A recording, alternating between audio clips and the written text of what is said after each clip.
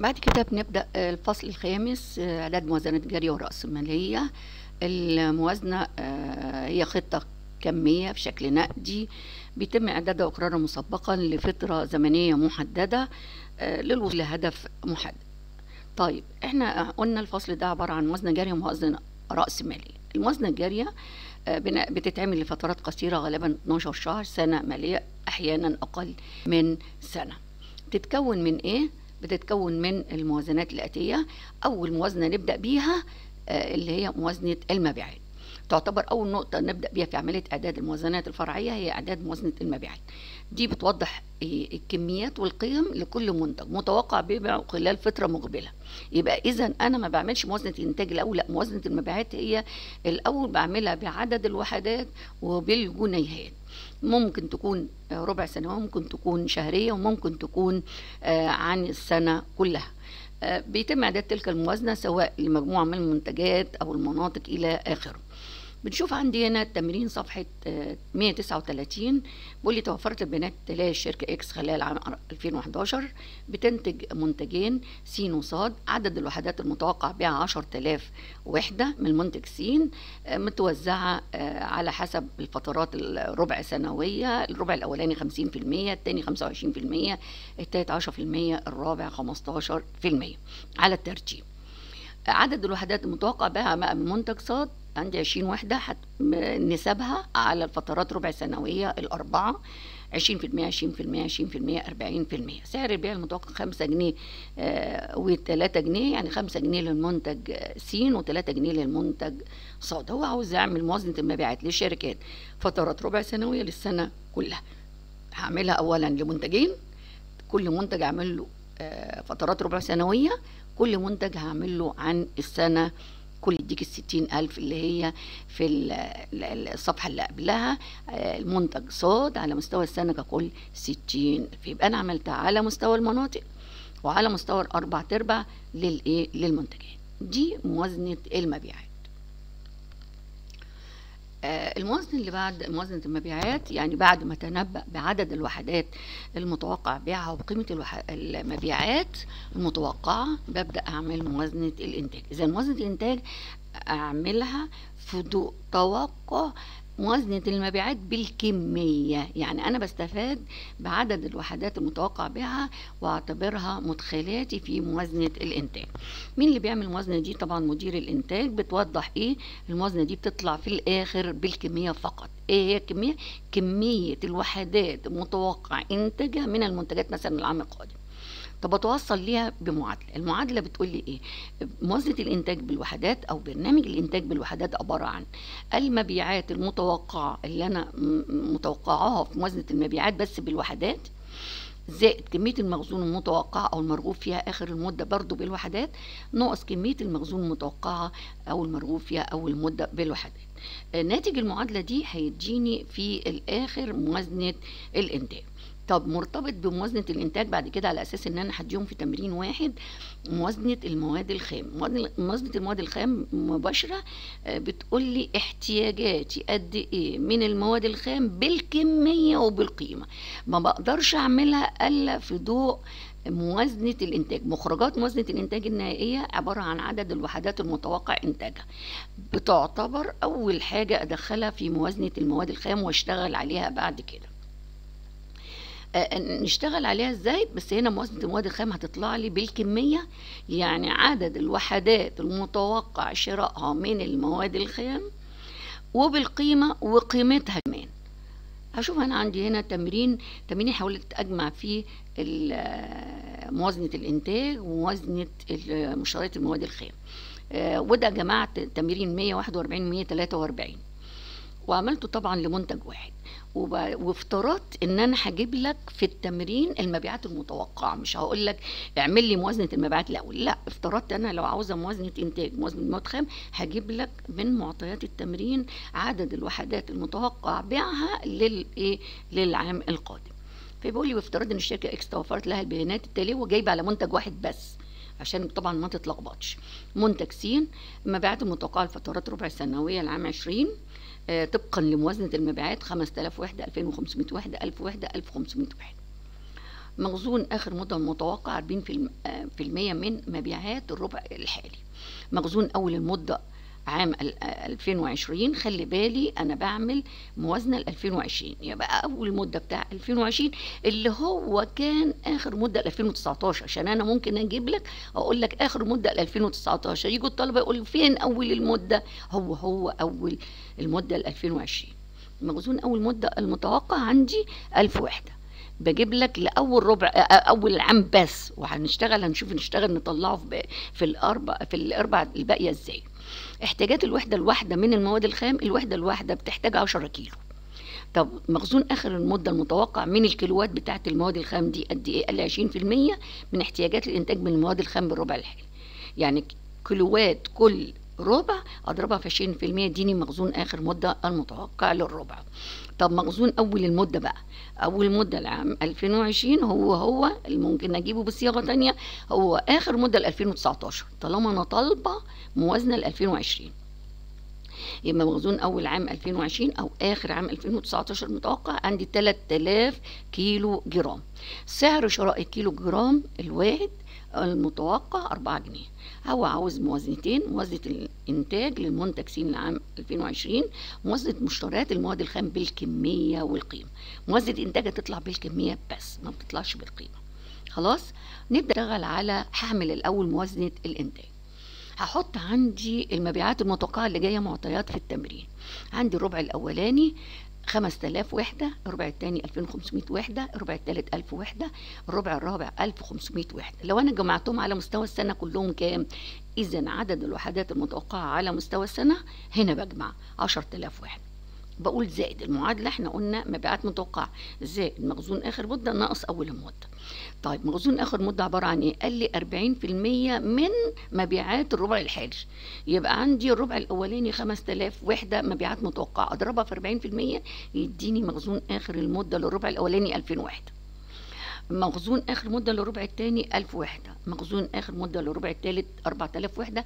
مخزون آخر مدة للربع الرابع 600 وحدة. طب للسنة كلها. آخر المدة للربع الرابع اللي هو إيه اللي هو شهر ديسمبر. هو آخر السنة. اذا أنا ملونة لك يبقى آخر المدة مخزون آخر المدة. للربع الأخير هو هو مخزون آخر المدة للسنة كلها اللي هو 600 واحد. هقول ناقص بكمل المعادلة مخزون أول مدة. أنا جايبة لك أول مدة ل 2020 وقلت ممكن أجيب 2020 أو ممكن أقول لك آخر مدة ل 2019 هو هو.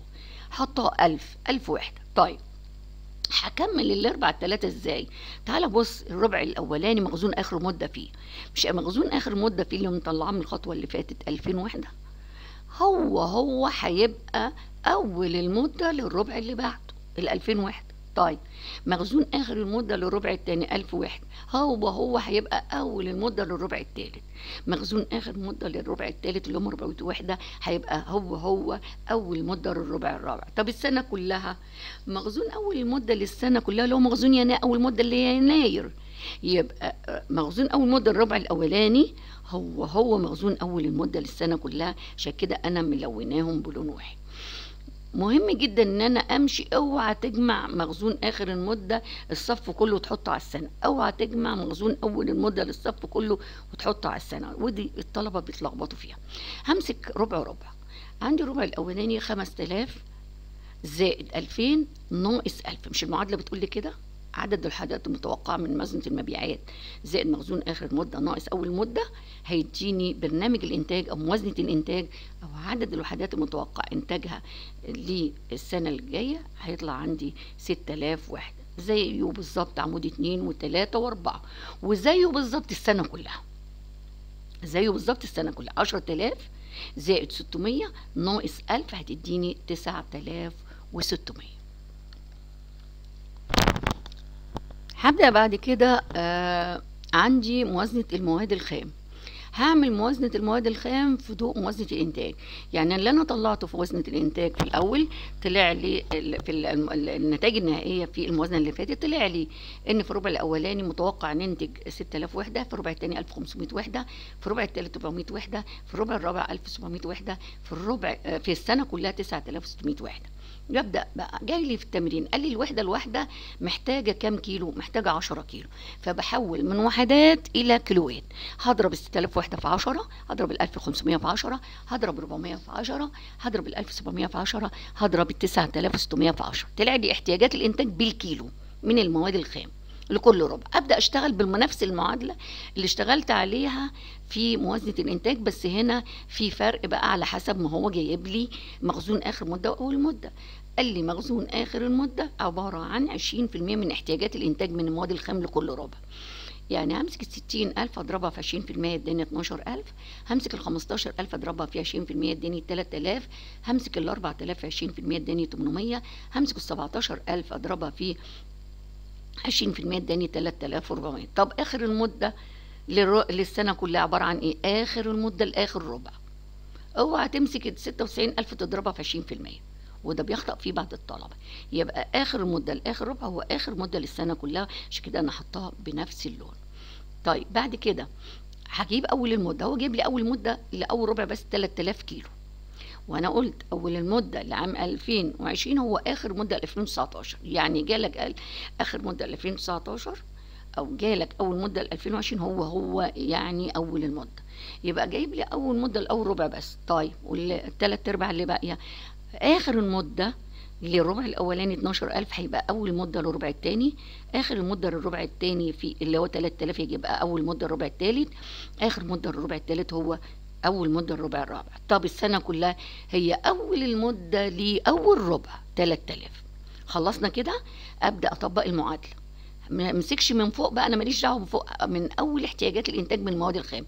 من أول ال 60000 أقول 60000 زائد 12000 ناقص 3000 يديني 69000 الربع الثاني 15000 زائد 3000 ناقص 12000 اداني عندي هنا إيه؟ 6000 وهكذا. واطبق برضو على مستوى السنة كلها. 96000 زائد 3400 ناقص 3000 هيديني 96400 بعد كده يبقى دي موازنة المواد الخام بالكمية. جايب لي سعر شراء الكيلو الواحد ب 4 جنيه وأنا عندي آه، الكمية 69000 كيلو في الربع الأولاني. لما أضرب في 4 يديني موازنة المواد الخام بالقيمه بالجنيهات يعني. 277000 في ال- الربع الأول في الربع الثاني الربع الثالث الربع الرابع في آخر في السنة كلها هنا بقى ممكن أضرب عادي مفيش مشكلة. 96400 في 4 لأن سعر الشراء مش هيتجمع. هيديني آه، 385600 يبقى كده خلصنا موازنة المواد الخام وعملناها في ضوء مخرجات موازنة الإنتاج. الموازنة الثالثة اللي هي موازنة العمل هتعتبر بالنسبة لي آخر الموازنات الجارية. يعني إحنا خدنا المبيعات خدنا الإنتاج خدنا المواد الخام وبالنسبة لي موازنة العمل. الموازنة دي بتوضح لي برضو بالكمية والقيمة. الكمية يعني إيه؟ عدد العمال المطلوبة آه، بالساعات بتاعتهم بالأجور المباشرة بتاعتهم. بحاول إن أنا آه، عندي برضو آخد الموازنة العمالة تعتمد على ماليش دعوة بموازنة المواد الخام. لا خلاص خلصت موازنة الخام. هاخد من موازنة الإنتاج. هحولها إلى ساعات وبعدين هيديني آه، ساعات العمل المباشر المطلوبة. يبقى دي موازنة العمالة بالكمية. هضرب في معدل أجر الساعة يديني موازنة العمالة بالقيمة. فنشوف في تمرين برضو آه عندي اللي هو صفحة 145 بحاول أعمل له صياغة بحيث يبقى تمرين امتحان. بيقول لي آه، افترض إن الشركة إكس تنتج المنتج س باستخدام نوعين من العمالة عمالة ماهرة وعمالة عادية. الوحدة الواحدة من منتج س بتحتاج من العمالة الماهرة ثلاث ساعات ومن العمالة العادية ساعتين.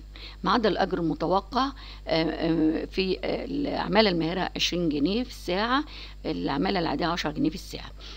برنامج الإنتاج أو موازنة الإنتاج المتوقعة اللي هو 20000 على مستوى الأربع آه، 20000 وحدة موزعة بنسبة 30% 30% 20% 20% على فترات الربع سنوية.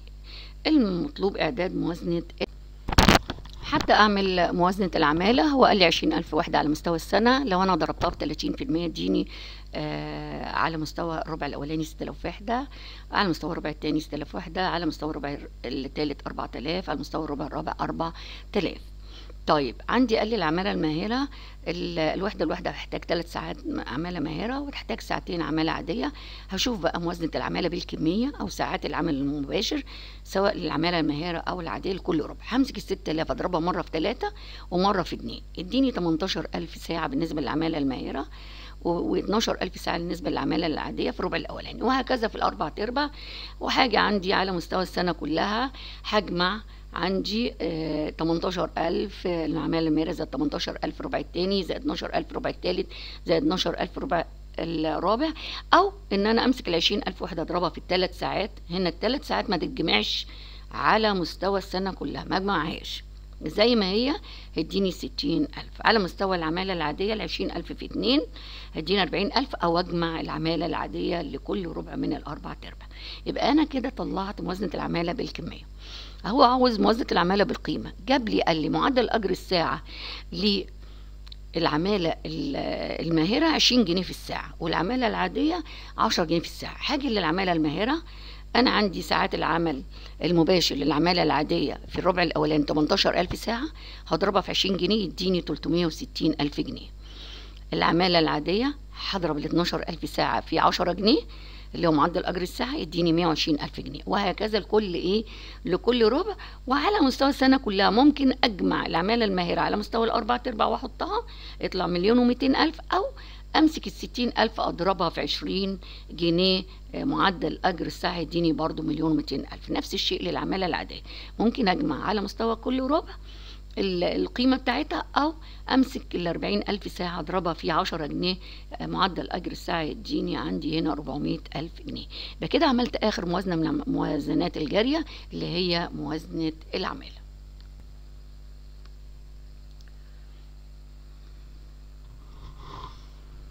دلوقتي إحنا قلنا الفصل ده بيتعلق بموازنات الجارية وخدنا أربع موازنات. النوع التاني موازنات رأس المال عادة الموازنات الرأسمالية ترتبط بالمشروعات الاستثمارية اللي هي بتقعد آه لأجل طويل. آه بحاول إن أنا أستخدم فيها أساليب تقييم. الأساليب أو معايير التقييم دي على أساس إن هي مشروعات بترتبط بفترة طويلة من السنوات فبتبقى المبالغ بتاعتها كبيرة. فبحاول إن أنا يعني ما أدخلش في المشروع آه إلا ما أعمل ليه تقييم وأشوف المشروع ده هيكسبني ولا يخسرني.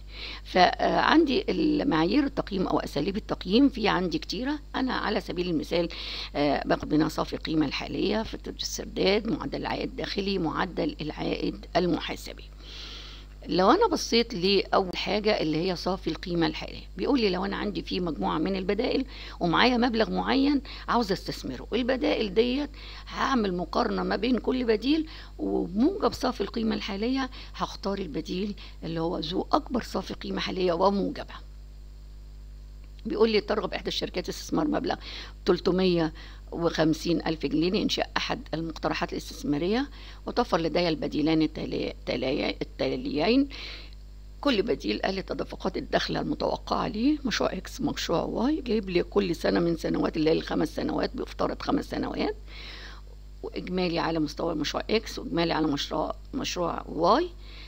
بيقول لي معدل سعر الخصم اللي أنا هقدر أخصم بيه أو أجيب معاملات القيمة الحالية 12% المطلوب مقارنة بين البديلين باستخدام أسلوب صافي القيمة الحالية وتحديد أي المقترحين أفضل هل هو X ولا عندي هحط طبعا هو هي بفترض إن هو بيجيب لي القيمة الحالية أو معامل القيمة الحالية للجنيه خلال السنوات الخمسة في التمرين. فبحط المشروع إكس التدفقات بتاعته آه وبحط جنبه القيمة الحاليه والقيمة الحاليه معناته إيه؟ معناته إن أنا استحالة الجنيه السنة دي هيبقى نفس الجنيه السنة الجاية هيبقى نفس الجنيه السنة اللي بعدها. أو القوة الشرائية للجنيه. الجنيه السنة دي بيشتري مثلا على سبيل المثال آه، خمس آه، رغيف عيش. السنة الجاية ممكن تبقى قيمته مش جنيه تبقى قيمته 89 السنة اللي بعد وهكذا. فدي اسمها معاملات القيمة الحالية وأعتقد أنتوا واخدينها في الإدارة المالية مش مجالنا. أنا بجيبها جاهزة. يبقى معامل القيمة الحالية عن سعر الخصم اللي هو جايبه لي أنا ما بكلفكش إن أنت تتعب نفسك وتجيبه. بجيبه. العمود بتاع القيمة الحالية للجنيه. طيب المشروع إكس اللي هيجيب لي تدفقات منتظمة قدرها مئة ألف جنيه لمدة خمس سنوات. هاجي كل سنة من السنوات هقول المئة ألف جنيه ديت هضربها في معامل القيمة الحالية اديني تسعة وتمانين ألف 300 يبقى بعد سنة ال 100000 قيمتها مش هتبقى 100000 هتبقى قيمتها 89300 هضرب ال 100000 في معامل القيمة الحالية للسنة الثانية يديني القيمة الحالية للتدفقات ديت 79700 في السنة الثالثة 71200 في السنة الرابعة 63600 في السنة الخامسة 59700 مجموع القيمة الحالية كام؟ 363500 يعني بعد خمس سنين كانت مجموع التدفقات من غير ما اخد في اعتباري. خصم أو معامل القيمة الحالية كانت 500 ألف. لا القيمة الحالية بتاعتها الفعلية من جداول القيمة الحالية توصلت ليها 363500 المشروع واي جايب لي تدفقات بس مش منتظمة يعني في السنة الأولانية خمسين ألف تمانين ألف في السنة الثانية مية وعشرين ألف في الثالثة مية وأربعين ألف في الرابعة مية وعشرة ألف. طب القيمة الحالية بتاعته كام؟ هضرب برضو معامل القيمة الحالية اللي أنا حطاه 893 من ألف هضربها في 50 ألف هتديني 44 650 797 من ألف هضربها في 80 ألف اديني 63 ألف 760 712 ألف هضربها في 120 ألف اديني 85 ألف 440 وهكذا. إذا معامل القيمة الحالية في التدفق. يديني القيمة الحالية للتدفق.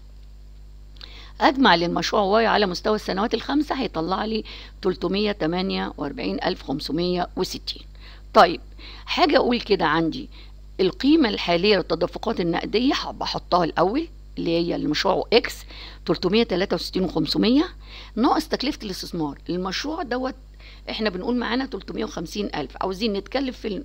ن... نعمل مشروع X ولا المشروع Y؟ فبقول مشروع X عندي 363 ألف 500 ناقص 350 اداني رقم موجب 13500 ده اسمه صافي القيمة الحالية. القيمة الحالية للمشروع Y 348560 هطرح منها تكلفة الاستثمار اللي هتبقى واحدة في المشروعين 350 ألف رقم سالب 1440 معنى كده إن صافي القيمة الحالية بالسالب عشان أفضل مشروع على مشروع أو بديل على بديل بختار المشروع ذو أكبر صافي قيمة حالية ولازم تكون موجبة.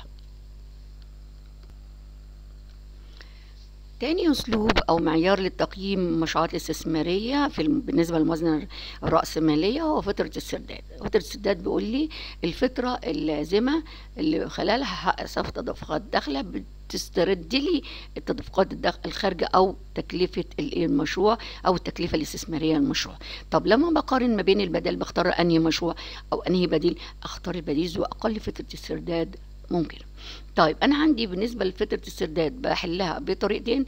الطريقة الأولانية بفترض إن المشروع بيجيب لي تدفقات نقدية متساوية طوال مدة عمره الانتاجي أو حياته الإنتاجية. هحسبها إزاي؟ التدفقات الخارجة اللي هي تكلفة الاستثمار أو تكلفة المشروع بسميها برضو الاستثمار المبدئي على صافي التدفقات النقدية الداخله من تشغيل المشروع. هشوف عندي دي معادلة بسيطة جدا ويطلع لي الناتج بالسنوات. آه فبيقول لي التمرين صفحة 161 لو كان أحد المشروعات هيكلف 600000 آه التدفق النقدي الصافي بتاعه آه 50000 لمدة 15 سنة احسب لي فتره الاسترداد. ببساطة شديدة هقول تكلفة المشروع على التدفق النقدي هيديني 12 سنة. يبقى هنا لو عندي أكتر من بديل يعني بديل مثلا بحقق فتره السرداد 12 سنة بديل خمس سنوات اختار أني بديل ذو أقل فتره السرداد ممكنة. ده إذا كانت التدفقات النقدية اللي داخلة متساوية. طب لو كانت غير متساوية نشوف بقى هنحلها إزاي. بيقول لي أحد المشروعات تكلفته 200000 تدفقات نقدية صافية داخلة طول مدة حياته خمسين ألف ستين ألف تمانين ألف مية وخمسين ألف في السنوات الأربعة. احسب فترة الاسترداد وبالفرض إن قدرت فترة الاسترداد هنا أو العمر هنا ثلاث سنوات. حدد القرار المناسب. بعمل جدول ببساطة شديدة. بحط عندي الجدول أربع أعمدة. أحط العمود الأولاني للسنوات. العمود الثاني للتدفقات الداخلة العمود الثالث التدفقات التراكمية هنشوف هنجيبها إزاي العمود الأخير لتكاليف الاستثمار أو تكلفة المشروع عندي. تكلفة المشروع بحطها عندي في السنة الأولانية دي بقول عليها السنة صفر اللي هي عند الإنشاء اللي لسه مش هيجي لي أي حاجة. فما فيش قدامها لا في تدفقات داخلة ولا تدفقات تراكمية. بحط ال 200000 وبعدين عندي السنوات الأربعة بحط أول عمود الأرقام اللي جاية لي في التمرين 50000 60000 80000 150000 وبعدين التدفقات التراكمية. معناته إيه؟ هاجي على السنة الأولانية التدفق الداخلي في السنة الأولانية كام؟ العمود اللي قبله 50000 هحطها. طب السنة التانية كانت في السنة اللي فاتت خمسين ألف والسنة دي ستين ألف يبقى المجموع كام؟ مية وعشرة ألف. ده اسمه التدفق التراكمي في السنة التانية. طب في السنة التالتة كان معايا مية وعشرة ألف من المرة اللي فاتت تراكمية. هيخش لي كمان السنة تمانين ألف يبقى مية وعشرة ألف زائد تمانين ألف يديني مية وتسعين ألف. يبقى التدفق التراكمي للسنة وتسعين ألف.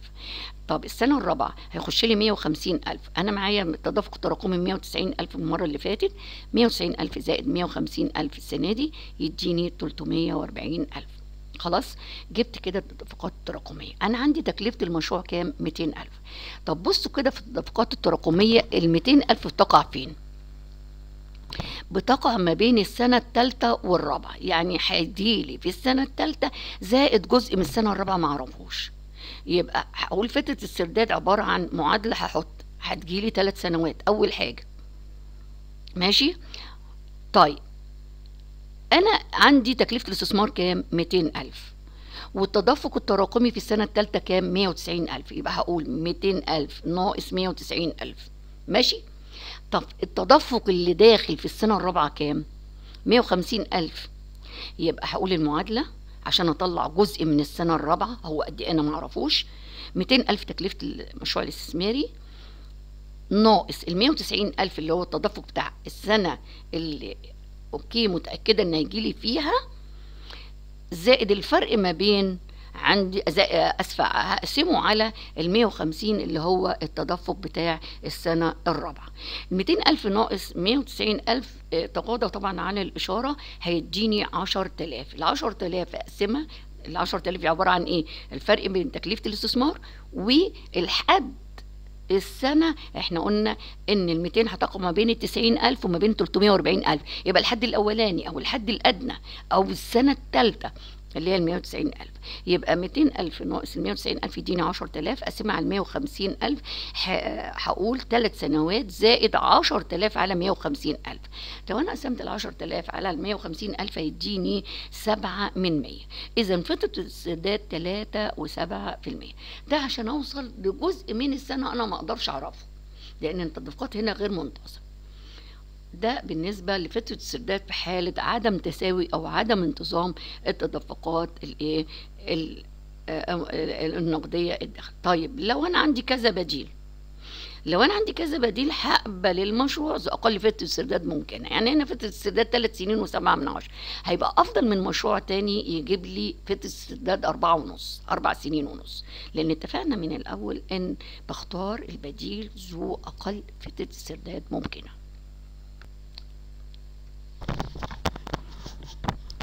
آخر حاجة عندي أسلوب متوسط العائد على الاستثمار أو معدل العائد المحاسبي.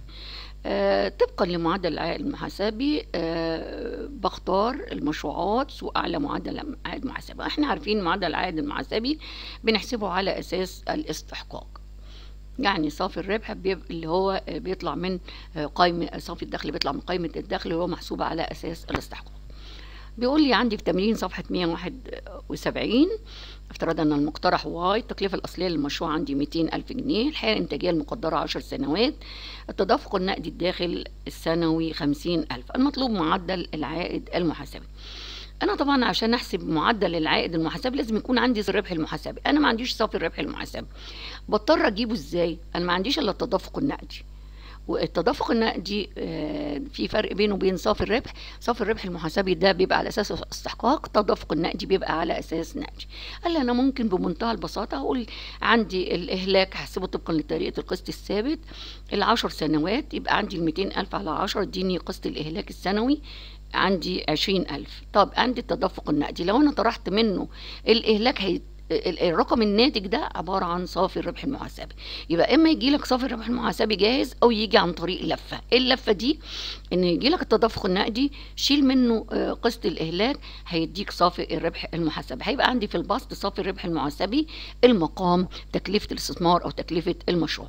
يبقى عندي 200000 على 10 طلع لي 20000 التدفق النقدي عندي 50000 أشيل منه 20000 يبقى صافي الربح المحاسبي 30000 30000 لو أنا قسمتهم على تكلفة الاستثمار وضربت في 100 هيطلع لي 15% آه، طبعا لضيق الوقت أنا الفصل الأخير مش هقدر إن أنا أكمله نظرا لظروف الطارئه اللي إحنا اضطرينا إن إحنا نسجل الملف. أتمنى إن شاء الله تكون محاضرات ميسرة وسهلة بالنسبة لكم وتفهموها وبإذن الله بدعي لكم إن ربنا يوفقكم.